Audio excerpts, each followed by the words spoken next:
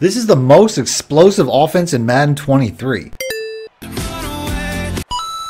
has a one play touchdown for every defense. Break yourself, fool! Break yourself, fool! And so many plays you could run this offense the entire game.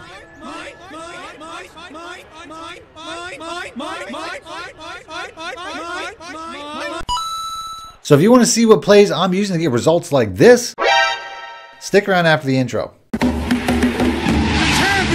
For the cheapest, fastest, most reliable MUT coins in the market, check out my coin sponsors at AOEAH.com and use discount code MONEY for 3% off. Link in the description below.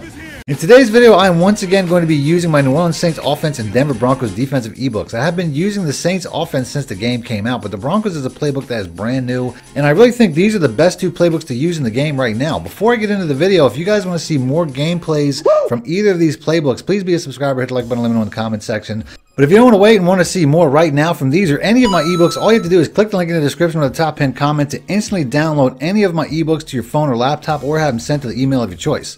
I recently switched over from the Philadelphia Eagles and wanted to start using some new teams. I decided to start using the Seattle Seahawks because, in my opinion, they might have the best offense in the game, but they also have the worst defense as they really only have like five players that can play. I'm thinking about switching teams every week or so, so if you guys want to see me use your favorite team next, give me some suggestions in the comment section. I might use it in an upcoming video. The offense I'm using today is once again my gun stack wide flex offense. I call it mine because I've been using it since Madden 23 came out, but I have noticed a lot of copycat channels have recently found out just how good this is and are putting out a lot of their own versions of this offense, which are basically the exact same setups. So today I'm going to be adding a few one play touchdowns to their offense and yours, starting with the fade out, which is a cover two and a cover three one play touchdown that I first previewed in yesterday's gameplay video. I run the drive H wheel on first down to get to the sideline as this play is best run from a hash mark to the open side of the field. Then all I have to do to get this play to work is put the X route or square route, whether you're on Xbox or PlayStation, on a comeback route, and that route makes the cornerback hesitate just enough Break yourself, fool! that the wheel route can get outside and behind him for a big play. And just like that, we score on the second play of the game. On defense, I'm going to be using a brand new setup to the Madden 23 meta defense, the Overstorm Brave, which is a setup that I put out yesterday. I'll have a link in the description for that video as well if you guys missed it. On the first play, he hits me with a draw run for about six. He tries to run again, and it gets shut down the next play. On third down, we get pressure that forces an incomplete pass. Then on fourth and four, he goes for it, and I still don't know how this was an interception. Somehow he gets past my six foot four cornerback.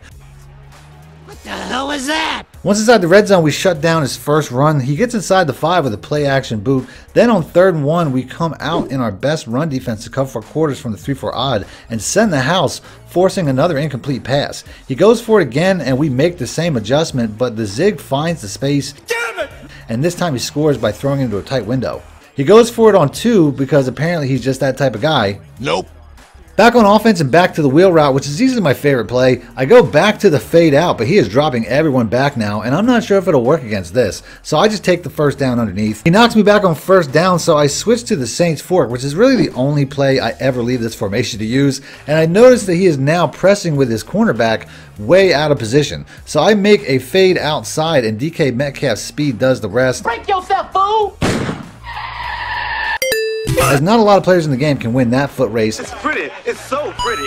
and we are now up eight. Back on defense, my opponent is using some sort of glitchy pistol formations where Curtis Samuel is playing tight end, and I have no idea what happened. Is all of a sudden Curtis Samuel is running straight down the middle of the field for an easy wide open touchdown. What in the fuck was that? He goes for it on two, and he hits the exact same zig route to tie the game. Back on offense, I see he is running a cover two man, and I switch over to my next one play touchdown, the PA read. This is another play that can score against any cover two, whether it's man or zone. All you have to do is streak or fade the wire triangle route, and the X route will split the two safeties. And you can see that would have been gone if the pressure didn't force a slightly overthrown pass out of DK Metcalf's reach as the drive stalls and I have to punt away. Back on defense, he burns me with the exact same pistol formation, and it turns out that when he motions this guy across, no one is covering him, and he becomes my assignment, which I realize way too late as he streaks him right past for another easy one play touchdown. But now at least I know what the hell is happening. Oh, good for you. But now I'm also down a touchdown because of it. He goes for two again, and we get the interception, but it's a linebacker, and he isn't fast enough to turn this into points.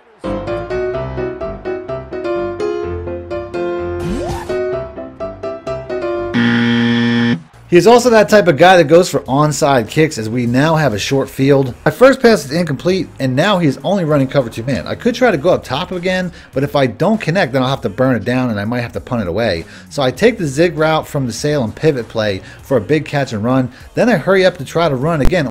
Only to throw an interception to a linebacker sitting right in the middle of the field in a hook zone that wasn't even a user. I switch over to my under smoke defense. Oh, it's on. Which is still one of my favorites. He tries to run a jet sweep and we stop him for a loss. Then on the next play, he either thought he could run past or aggressive glitch catch. Gotcha, bitch. But neither are going to happen against my 6'4 speedster Tariq Woolen in coverage, who makes a miraculous return from the last game's absence. Now I'm willing to waste a down on first down as we set up the one play touchdown once again. Break yourself, fool!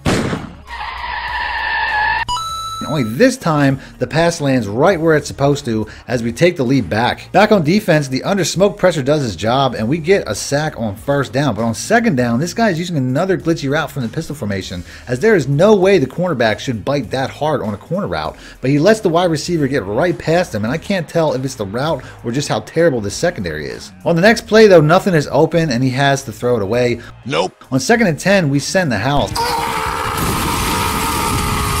we get an instant sack, knocking back to third and 20, but it's not enough to knock him out of field goal range as he takes the lead at half. He also gets ball coming out of the locker room, and to make things worse, he has a backup running back at his fullback spot. So when I do the fullback kick, he actually has enough speed to get a good return and is now starting at midfield. Oh, come on. I stay in the under smoke play, and on the first play, he gets nothing on the ground. Nope. Then on the next play, the pressure comes in off the edge, and once again, we knock him back for another third and plus 20 in a row before he pulls out whatever glitch that is that he's using to get the first down. I get to see the play out after, and there's no corner route on the play, so I don't know what the hell he's doing, but I'm going to lab it because it's absolutely killing my man zero defense as he gets inside the red zone once again. He tries to run again as we knock him back a yard. Then he pulls out the old RPO reflat wheel glitch and barely gets the yard back. Then on a critical third and long, we get another big sack to force another field goal. Down five, he goes for an onside kick, Nope. and now we have a short field. We get into a quick third and eight, and we switch it up and go back to the Saints Fork. And this play hasn't worked well for me all day, but we get the first down. I try to run a screen pass, but I guess I hit the button one too many times or something.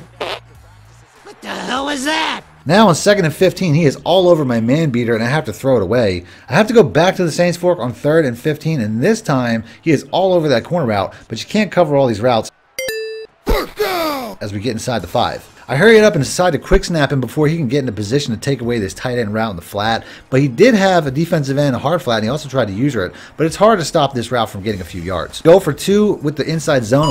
And we punch it in to take a three point lead. Back on defense and still in the under smoke on first down, we stuff the run for only one yard once again.